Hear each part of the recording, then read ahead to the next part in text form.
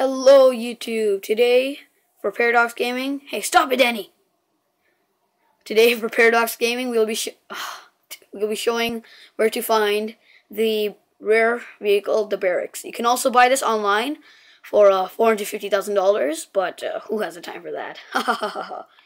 and uh, you can and it can fit up to about ten people in it. And uh, here's a location you have to find it in. If you don't remember where it is, uh, all you have to do is simply just like remember that it's near an Ammu-Nation. And keep in mind, oh sorry, keep in mind that this is only, um, this is only uh, available in online. You can only find this in online. And if this is not, and if this barracks, and if the barracks do not show up in like in the time, uh, then like it pro it possibly means that you have to go around a couple times and uh, it's like you know, you need to like and then come back to this uh, one area. So uh, yeah, and then like you can just get in and get into it, and then when you're doing that, you could go around, and then yeah, it's pretty cool. So uh, yeah, that's basically all you have to do. It's in that one specific location. Let me just show you guys one more time.